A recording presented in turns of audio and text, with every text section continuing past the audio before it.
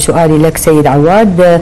العوادي خليني أتحدث هذا اليوم عن واقع يعني خلاص انتهى الموضوع انحسب الأمر تيار الصدري داخل الانتخابات وانتهى الموضوع. أتحدث السيد الصدر عن وثيقة وهذه الوثيقة يعني طمنت التيار الصدري وبالتحديد السيد مقتدى الصدر. أريد نعرف شنو بنود هذه الوثيقة ومن هي الأشخاص أو الشخص الضامن لتنفيذ هذه البنود بنود هذه الوثيقة؟ نعم بسم الله الرحمن الرحيم. السلام على مشاهديك وعلى ضيوفك الكرام.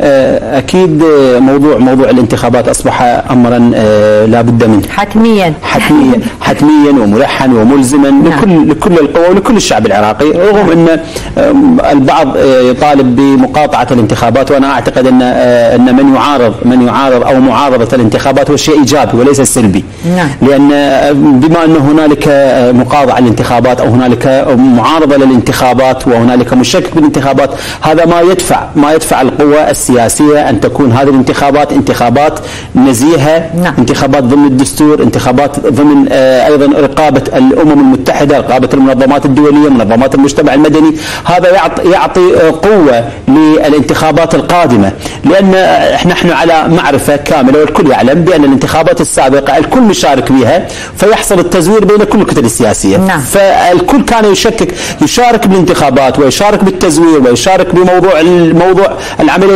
الانتخابية التي هي عملية غير ناجحة وبعد ذلك وبعد ذلك يضربون اللوم بالانتخابات، أما الآن هذه انتخابات حقيقة انتخابات مصيرية.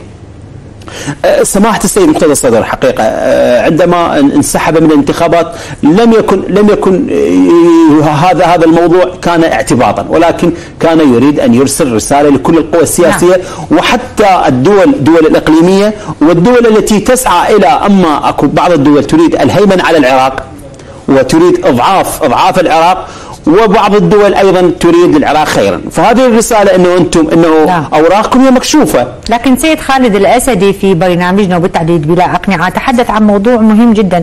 قال لك هذا الموضوع تكتيكي للسيد مقتدى الصدر وأيضا للكتلة الصدرية لإعادة جمهورها آه، بالانتخابات بعد ما علموا إنه الجمهور بدا ربما آه، يقل. يعني مو مثل النسبة اللي خلوها 100 مقعد 90 مقعد آه، مقعد والتكتيك كان ناجح يعني. وقال راح يعود وعدنا بالحلقة معنا السيد خالد الأسدي قال راح يعود سيد مقتدى أه ستيفا ما يختلف اثنين ما يختلف اثنين على أن جمهور التيار الصدري جمهور منضبط جمهور منظم وأيضا يتبع قيادة واعية قيادة وطنية نعم. ملتزمة بكل التفاصيل نعم. فما يختلف اثنين إنه موضوع مو موضوع تكتيك من أجل تعبئة الجماهير نعم. بالعكس بالعكس الجماهير الجماهير منضبطة وتعلن علم اليقين بأن سماحة السيد إن دخل الانتخابات ففيه مصلحه وأن انسحب من الانتخابات ففيه مصلحة. ولكن الرسالة كانت أقوى من ذلك. رسالة كانت للدول الإقليمية. كان هنالك بعض الدول تريد من العراق أن يكون ضعيفا. نعم. ولا تريد من العراق أن يكون فوضى. في العراق فوضى. أمريكا وإيران تريد العراق ضعيف. ما تريد فوضى. وسماحة السيد يريد من العراق دولة قوية. يريد من هذه الانتخابات أن تكون هنالك تغيير أن تكون هنالك مؤسسات دولة. التي بعض الدول لا تريد. وأيضا بعض القوى السياسية التي تتبع أجندات خارجية أيضا كانت مشاركة بأضعاف العراق. نعم. مشاركة بأضعاف العراق بالمحاصصة والفساد مشاركة بأضعاف العراق بالتآمر على العراق مشاركة أيضا تقصد داخليا طبعا مشاركة في الانتخابات نعم. فكان فكان انسحاب سماحة السيد كان ناقوس خطر لهذه الكتل انكشفت نعم. لأن باعتبار أن سماحة السيد لا يريد أن يكون شاهد زور على انتخابات هذه الانتخابات هي تآمر على العراق. نعم. يريد هذه الانتخابات هي انتخابات للشعب العراقي. وأيضا أعطى رسالة أعطى رسالة للمرجعية وأعطى رسالة للكتل السياسية وأعطى رسالة حتى للدول التي تريد العراق خيرا. قال لهم أنه عدم المشاركة هو عدم الاعتراف بالانتخابات ولكن المشاركة بهذه الطريقة بهذه الطريقة لا نقبل بها. شنو نتغير بالطريقة؟ يعني جيد. أريد أفهم جيد ممتاز ممتاز. أولا شوفي حضرتك من انسحاب السيد ولحد أنتم كم حلقة طلعتوا ناقشتوا؟ أسباب انسحاب سماحة السيد. أيضا كل الشارع العراقي خلى علامة استهاب انسحاب السيد.